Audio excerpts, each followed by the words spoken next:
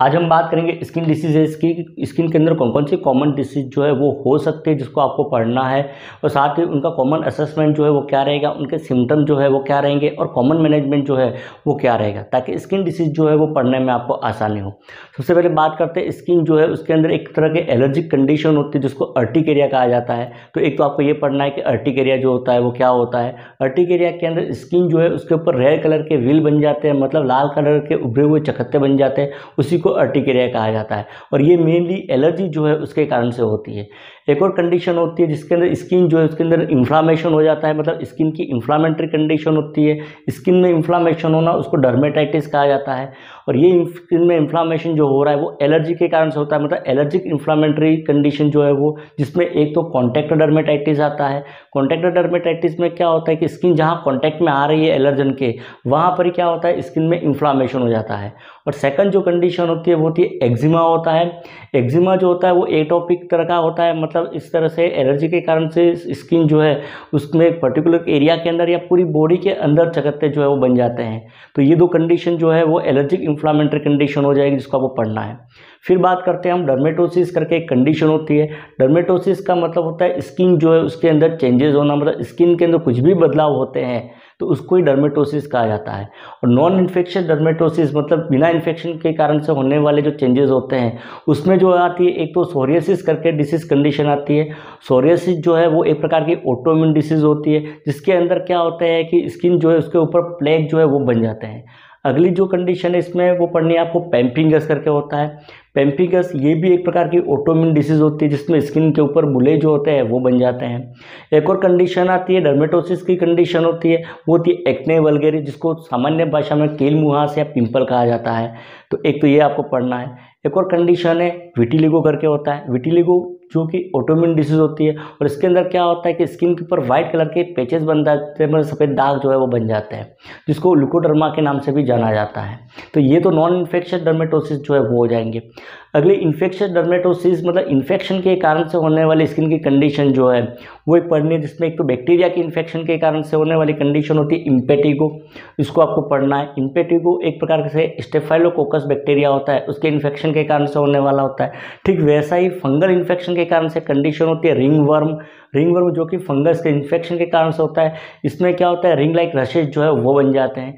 अगली कंडीशन होती है स्किन इन्फेक्टेशन की मतलब स्किन जो है उसके अंदर इन्फेस्टेशन हो जाता है। मतलब कोई भी आर्थोपोड या इंसेक्ट जो है या पैरासाइट जो होता है, वो स्किन के ऊपर क्या करता है लाइव करता है, उसका इन्फेक्शन हो जाता है स्किन के ऊपर। तो उसको स्किन इन्फेस्टेशन कहा जाता है। तो इसमें जो आपको पढ़ना है वो है एक तो पेडिकुलोसिस जिसको सिंपल भाषा में लाइस जो है या जुए पढ़ना, वो कहा जाता है। सेकंड कंडीशन होती है इसमें वो होती है स्कैबिस स्कैबिस जिसको द एज या ईच माइट के कारण से होने वाली कंडीशन होती है जिसमें बहुत तेज़ खुजली स्पेशली नाइट के टाइम में आती है.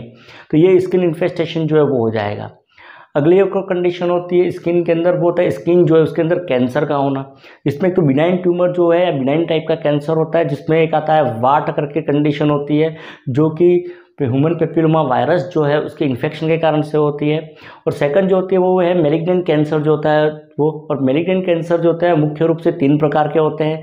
एक तो स्कामाउस सेल कार्सिनोमा एक बेसल सेल कार्सिनोमा और एक मेलिग्नेंट मेलानोमा करके होता है। एक सबसे महत्वपूर्ण जो है, वो है स्किन जो है, उसके अंदर इंजुरी होना और ये इंजुरी जो है हीट या टेम्परेचर के कारण से होती है, उसको बर्न इंजुरी कहते हैं। ये सबसे महत्वपूर्ण है एग्ज़ाम पॉइंट ऑफ़ व्यू से तो एक तो आपको ये पढ़ना है।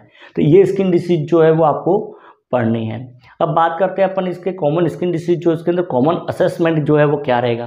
तो असेसमेंट के अंदर अगर बात करें तो सबसे पहले फ़िज़िकल एग्जामिनेशन करते हैं, जिसमें स्किन जो है उसके अंदर चेंजेस देखते हैं। स्किन के अंदर क्या क्या चेंजेस अगर देखें तो एक तो एरिथीमा जो है वो हो सकता है स्किन के अंदर। एरिथीमा मतलब क्या होता है कि स्किन जो है उसके अंदर रेडनेस हो जाती है और ये रेडनेस जो है कैपिलरीज जो होती है उसके अंदर ब्लड के कॉन्चेशन के कारण से हो जाती है। उसको एरिथीमा कहा जाता है। एक और स्किन के अंदर चेंजेस मिलते हैं कलर के अंदर, वो होता है साइनोसिस का। साइनोसिस के अंदर क्या होता है स्किन जो है वो ब्लू कलर की हो जाती है और ये ब्लू कलर की स्किन जो है, वो ऑक्सीजन जो है उसकी कमी के कारण से होती है मतलब लैक ऑफ़ ऑक्सीजन सप्लाई के कारण से होता है। एक और होता है स्किन जो है उसके अंदर हाइपोपिगमेंटेशन हो जाना मतलब पिगमेंट जो है उसका कम हो जाना। पिगमेंट जो है उसका कम होने के कारण से जो कंडीशन उत्पन्न होती है, वो होती है एक तो विटिलिगो करके होता है, जिसमें वाइट कलर के पैचेज जो बन जाते हैं, या हाइपर पिगमेंटेशन की कंडीशन हो सकती है कभी कभी इसमें क्या होता है एक्सेसिव पिगमेंट जो होता है मिलेनिन उसका प्रोडक्शन हो सकता है, जिससे स्किन जो है वो डार्क कलर की हो सकती है, जैसे सनबर्न जो है उसके कारण से। तो ये तो स्किन के चेंजेस हो गए। अब बात करते हूँ स्किन जो है, उसके लीजन की। स्किन के ऊपर कौन कौन से लीजन जो होते हैं, वो दिखाई देते हैं। उन लीजन के आधार पर ही डिसीज जो है, उसका आइडेंटिफिकेशन जो है, वो किया जाता है। तो उसमें एक तो मैक्यूल होता है। मैक्यूल जो होता है, वो क्या होता है कि स्किन के ऊपर नॉन पाल्पेबल फ्लैट जो है, वो कलर चेंज हो जाता है। मतलब स्पॉट जो है, वो बन जाता है। और ये पाल्पेबल नहीं होता मतलब फिंगर से पाल्पेट करने पर ये पाल्पेट नहीं होता है। और इसमें थोड़ा सा कलर जो होता है, स्किन का, वो चेंज हो जाता है। इसकी साइज़ जो रहती है, वो वन सेंटीमीटर से कम रहती है। जैसा कि रूबेला जो होता है, स्किन की कंडीशन उसके अंदर मैक्यूल जो है वो बनते हैं स्किन के ऊपर। यदि इनकी साइज़ जो है वो वन सेंटीमीटर से ज़्यादा है तो उसको पेचेस कहा जाता है और ये पेचेस ज़्यादातर विटिलिको करके स्किन कंडीशन होती है, जिसके अंदर वाइट कलर के पेचेस बन जाते हैं। तो एक तो ये हो गया। अगली चीज़ होती है पेप्यूल होता है। पेप्यूल जो होता है वो क्या होता है? छोटा सा पाल्पेबल सॉलिड मास होता है मतलब हल्का सा छोटा सा मास होता है जो पाल्पेबल होता है फील करने पर फील हो जाता है, ठीक है? और इसकी साइज़ जो है वो पॉइंट फाइव सेंटीमीटर जो है उससे कम होती है। और ज़्यादातर पेप्यूल जो दिखाई देते हैं, वो वाट करके कंडीशन होती है डिसीज कंडीशन स्किन की, उसके अंदर पेप्यूल बनते हैं। यदि यही पेप्यूल जो है, वो पॉइंट फाइव सेंटीमीटर जो है, उससे ज़्यादा है, बड़े हैं तो उनको प्लेग कहा जाता है। ज़्यादातर सोरियसिस की डिसीज कंडीशन जो होती है, उसके अंदर स्किन के ऊपर प्लेग जो है, वो बन जाते हैं। अगली बात करते हैं अपन वेसिकल की।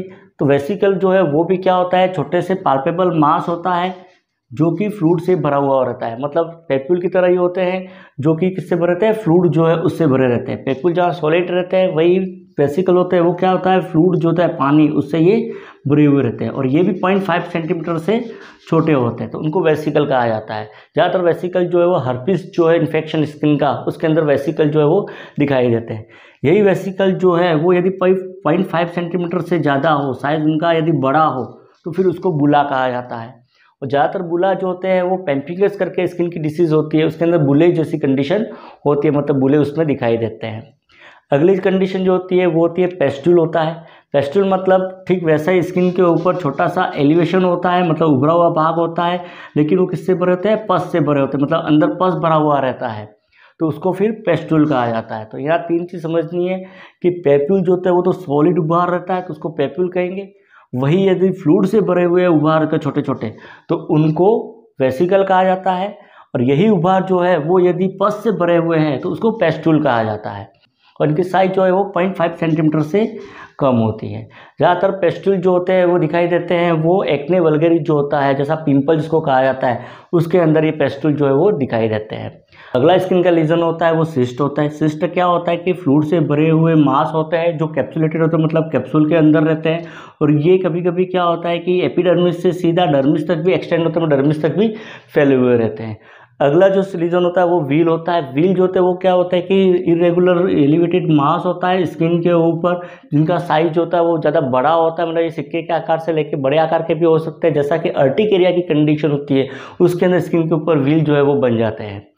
तो ये प्राइमरी स्किन लीजन हो जाएँगे। फिर आते हैं सेकेंडरी स्किन लीजन जो होते हैं वो। सेकेंडरी स्किन लीजन के अंदर क्या होता है? एक इरोजन होता है। इरोजन के अंदर क्या होता है कि एपिडर्मिस की जो सुपरफिशियल लेयर जो होती है, वो प्रभावित होती है। वो जो है वो डैमेज हो जाती है या उसका लॉस हो जाता है, वो हट जाती है।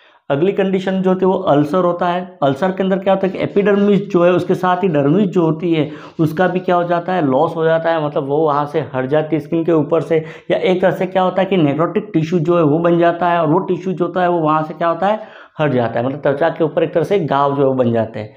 अगली कंडीशन जो होती है, वो फिशर होता है। फिशर के अंदर क्या होता है कि स्किन जो है उसके अंदर लीनियर क्रैक बन जाते हैं मतलब सीधी दरारें बन जाती है स्किन के ऊपर, जैसा कि लिप्स जो होते हैं उसके अंदर दरारें बन जाती है सर्दियों के दिनों में तो उसको फिशर कहा जाता है। अगली चीज़ कंडीशन होती है होती है स्केल होता है। स्केल्स के अंदर क्या होता है कि स्किन जो है, उसकी एपिडर्मिस जो होती है, वो डेड हो जाती है और डेड होने के बाद वो क्या होती है, पपड़ी के रूप में बाहर की तरफ़ उभरती है बाहर की तरफ़ निकलती है तो उसको स्केल कहा जाता है।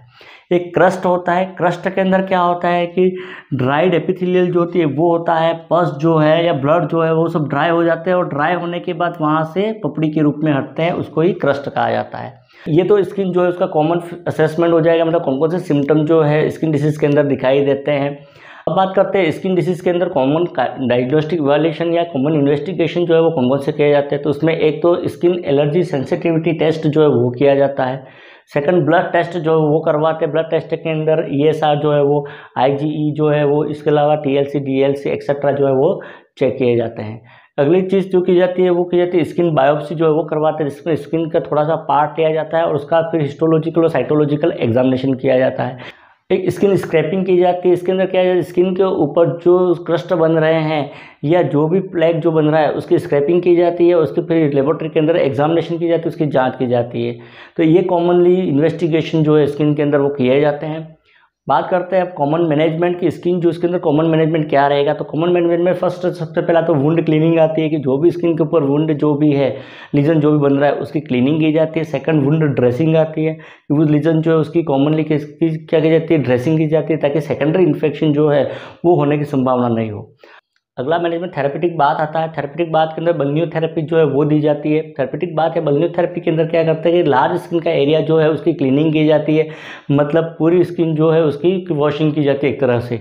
अगला कॉर्टिकोस्टेरॉइड जो है वो इसमें चलाई जाती है। कॉर्टिकोस्टेरॉइड जो है वो टॉपिकल भी दिए जाते हैं और सिस्टमिक दिए जाते हैं। इसमें अकॉर्डिंग टू डिसीज कंडीशन जो उसके आधार पर दिए जाते हैं।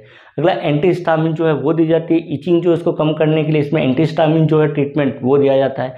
एक इम्यूनोसप्रेसेंट जो है या इम्यूनोमोडुलर जो है वो दिए जाते हैं। इम्यूनोसप्रेसेंट जो होते हैं वो एंटी इन्फ्लामेटरी की तरह काम करते हैं। इन्फ्लामेशन जो है उसको कम करने के लिए ऑटोमिन डिसीज जो भी हो रही है उसको कम करने के लिए दिए जाते हैं।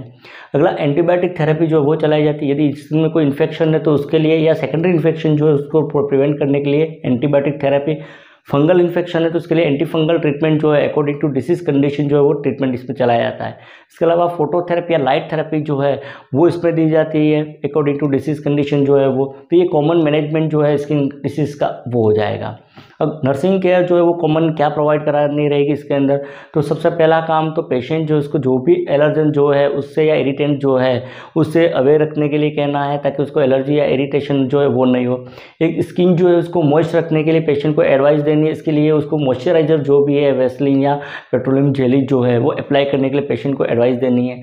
अगला वाटर लॉस जो है, उसको प्रिवेंट करने के लिए कहना है, क्योंकि वाटर की कमी के कारण से स्किन के अंदर ड्राइनेस होगी, उसके कारण से उसके अंदर कस्टिंग जो है, वो ज़्यादा हो सकती है इरिटेशन ज़्यादा हो सकता है। तो उसको वाटर जो है इनटेक करने के लिए इंकरेज करना है। एक पेशेंट जो उसको सनलाइट जो उसको अवॉइड करने के लिए कहना है कि वो सूर्य के प्रकाश जो उससे बचे स्पेशली यदि कोई क्रीम अप्लाई करता है, उसके बाद क्योंकि मैक्सिमम क्रीम जो होती है, वो क्या होती है सनलाइट के साथ रिएक्शन करती है, उसके कारण से उसको प्रॉब्लम हो सकती है एक पेशेंट जो है उसको सिंथेटिक क्लोथ जो है वो पहनने के लिए अवॉइड करने के लिए कहना है साथ ही पेशेंट को लूज कॉटन क्लोथ जो हो पहनने की एडवाइस देनी है अगला पेशेंट जो है उसको न्यूट्रिशियस डाइट जो है वो लेने की एडवाइस देनी है कि न्यूट्रिशियस डाइट जो है वो ले विटामिन रिच डाइट जो है वो पेशेंट जो है वो ले तो ये कॉमन स्किन डिसीज जो है वो आपको पढ़नी है कि कौन कौन सी स्किन जो है डिसीज आपको पढ़नी है उनका कॉमन मैनेजमेंट क्या रहेगा साथ ही उनका कॉमन सिम्टम जो होते हैं वो नेक्स्ट वीडियो के अंदर हम वन बाय वन एक एक करके स्किन डिसीज जो है उसको डिटेल में हम पढ़ेंगे मिलते अगले वीडियो में। Thank you.